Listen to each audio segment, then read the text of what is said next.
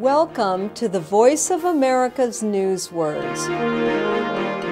This newsword is a skill used in computer science.